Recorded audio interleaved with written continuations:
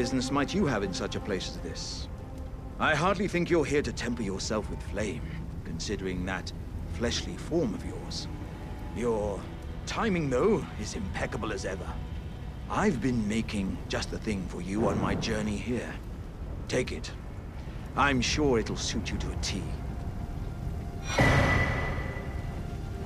But, uh, I won't be able to temper my body such that it'll never crack again. Perhaps I'll head eastward. There's an old saying I've caught wind of. Above the lofty clouds, the icy giant's peak doth soar. Here lieth the flame of ruin, which ever burning roars. Perhaps I'll head eastward. There's an old saying I've caught wind of. Above the lofty clouds.